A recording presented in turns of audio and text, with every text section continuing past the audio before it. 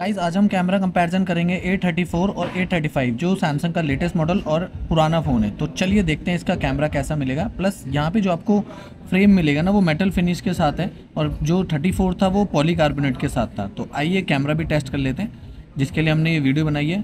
तो सबसे पहले कैमरा ओपन करते हैं। दोनों को यहाँ पे मैं एक सेम पोजीशन में ले आता हूँ। अब यहाँ से मैं जूम करूँगा। तो ये जूम करके मैं फ़ोटो कैप्चर करूँगा A34 में।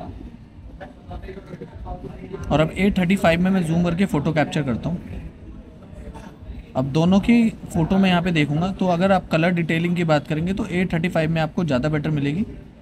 तो पिक्चर क्लैरिटी भी यहाँ पे आपको बेटर है। लुक यहाँ पे 35 में एक अतरंगी सा कलर है।